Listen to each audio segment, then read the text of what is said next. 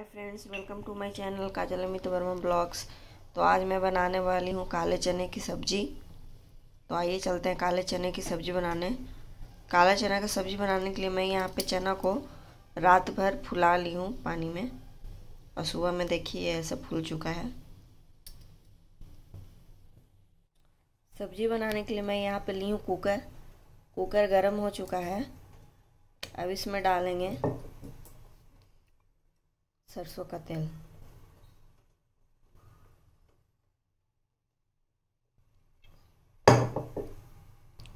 ये देखिए, तेल जो है गरम हो चुका है। अब मैं इसमें डालूँगी सूखी लाल मिर्च, एक बड़ा इलायची थोड़ा सा जीरा और दो तेज पत्ता। इन सभी को इसमें डाल देंगे। एक दालचीनी का टुकड़ा। इसको चटकने देंगे। देखिए, ये चटक चुका है। तो मैं दो बड़ा प्याज जो है, कटा हुआ इसमें डाल दूँगी। और इसको चला लेंगे इसको गोल्डन ब्राउन होने तक फ्राई कर लेंगे प्याज को। यहीं पे मैं इसमें डालूँगी थोड़ा सा नमक। इससे जो है प्याज जल्दी से पक जाता है।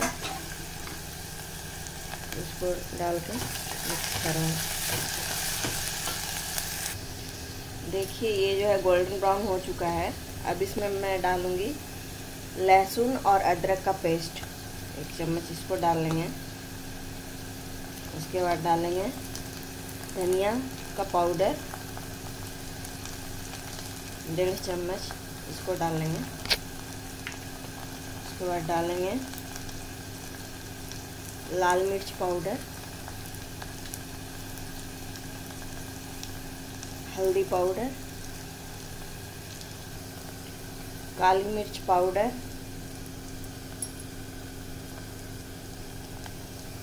कश्मीरी लाल मिर्च,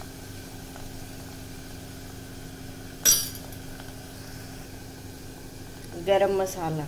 इन सभी को अच्छे से चला लेंगे।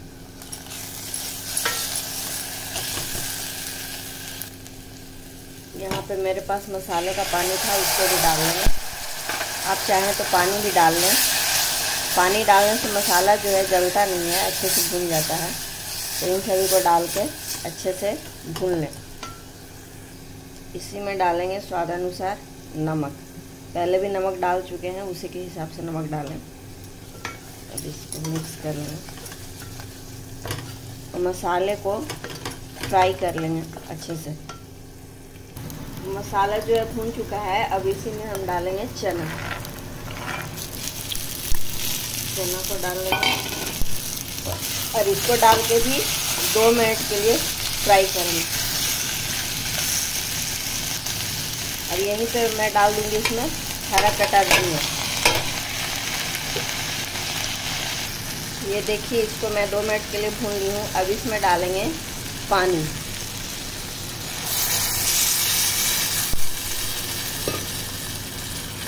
पानी को डाल के मिक्स कर लेंगे।